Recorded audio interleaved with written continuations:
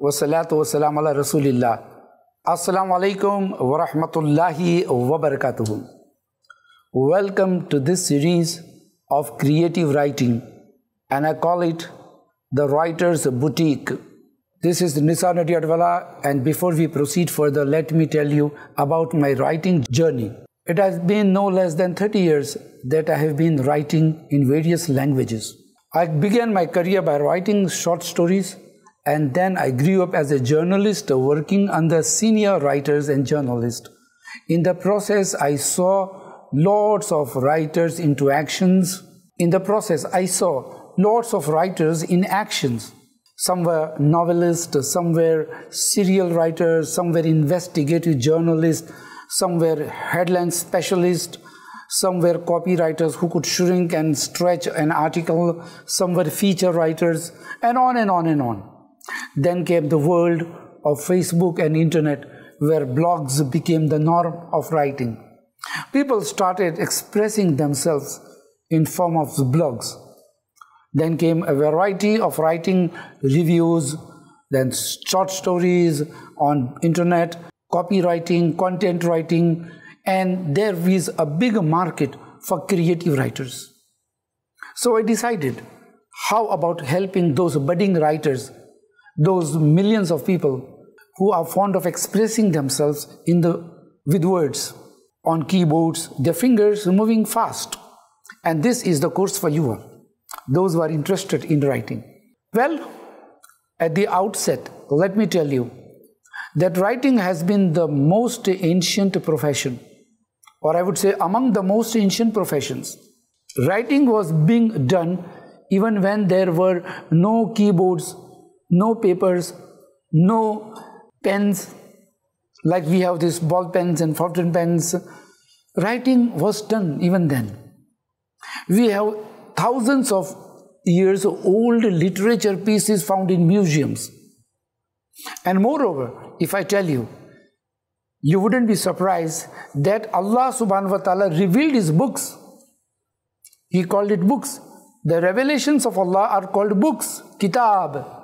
So the books revealed upon Moses, the books revealed upon Musa, Isa, Dawood, and our own Quran. And in those days, there were no printing press, yet the books were there.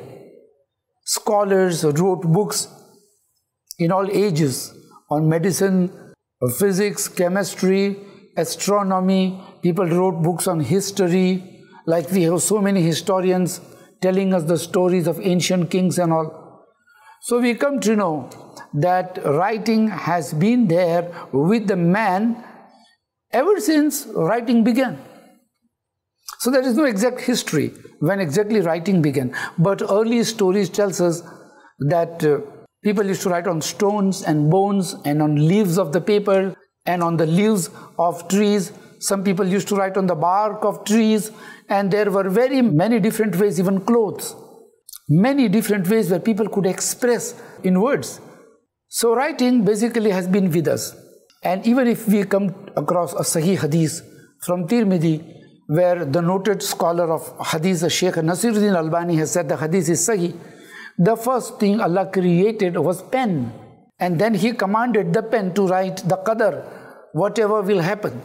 So writing is very old. And the pen was there. But what happens is that we are also taught writing in the schools. Our writing in schools begins from right from the first standard when we start writing alphabets and words and the teacher gives us assignments and we keep on writing in journals there are essays letter writings also. There is analytical writing. There are historical writing in the subjects of history. There is writing in geography. There is writing in each and every academic subjects of 12 years of our school high school and then universities. But alas why do most of us do not turn up into writing as a profession? But alas, why do most of us stop writing? We are dependent upon assistants, we are dependent upon professionals to write our letters, sales letters, complaint letters to municipality, and we are looking for ready-made templates for that. Because we don't use the skills that Allah has given us, that a man is able to write. If you see the history of the Arab scholars, They have written biographies of scholars of the Prophet ﷺ himself and the companions and the noble imams, the scholars of hadith, the muhaddis. These people wrote the biographies. So the Arabs are already into writing and amazing pieces of writings we have.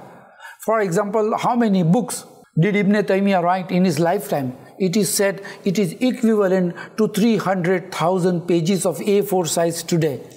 This is around 800 years ago. There were no keyboards. How could a man manage to write so much unless he is passionate and knowledgeable about it? And today Ibn Taymiyyah is among the finest uh, writers on Aqidah, Manhaj, Fatawas, Tafsir, Hadith. Hmm? And then came his students like Ibn Kasir. How many books did Ibn Kasir write? It is said that Bidayah wal Nihaya has more than 25 volumes, and each volumes of our times around 400 to 500 pages. Then Al Bidayah wal Nihaya, the book of history, from Adam salam till his life, important events in Islamic history, he writes the stories of the prophets, all the prophets that are found in the Quran, and the others who are found in Hadith, has been compiled in the books of the stories of the Prophet by Imam Ibn Kasir. And there are no less than 100,000 books written by the early generation Muslim scholars, which are still to be published.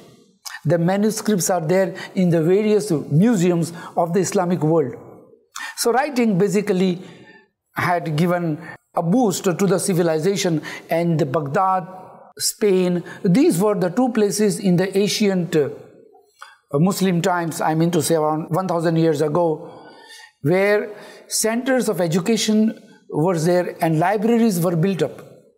There were libraries in Egypt, in Baghdad, in Spain, and it was here from where the Muslim world flourished. The civilization flourished.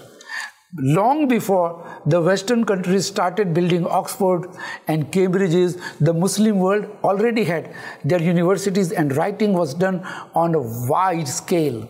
Then came the age where we started building monumental structures, shrines, and we lost our way, we lost our glory. Today we have very few number of you know world-class writers in the community. The Westerners, the Indians, they have all taken over our skills and they are coming out with various books on science and maths and discoveries as well as even entertainment. As per my knowledge goes, even there are some Urdu writers, Munshi Premchand, Munshi Premchand, he is a non-Muslim, but he wrote fantastic Urdu literature. So basically writing is there, but we Muslim on the way, we forgot to use the pen. And whatever we wrote and whatever people are writing nowadays, the non-scholar Muslims, they are writing more of desires. And that can be dangerous for their own as well as for the community. So this course basically is not about religious writing or political writing. I would call it this course is about writing to build a career and there would be a variety of writings but I would be summing up with the introduction that what exactly is writing and how important it is. Allah has sent a revelation and called it books. He did not send a CD or audio cassette or a video to send revelations but he chose to call his revelations as book. This is the importance of writing. So we proceed from here. The writer's boutique is a course which is going to help you out in expressing yourself with fantastic vocabulary that you have amassed in all these years. And how will this course work? We will discuss it in the next lesson. Till then, Assalamu alaikum wa rahmatullahi wa barakatuh. दीन की बात आम करने में आई plus TV की मदद करें। Paytm या Google पे के लिए हमारे नंबर्स पर ट्रांसफ़र करें। ऐसे ही और वीडियोस बनाने में हमारी मदद करें।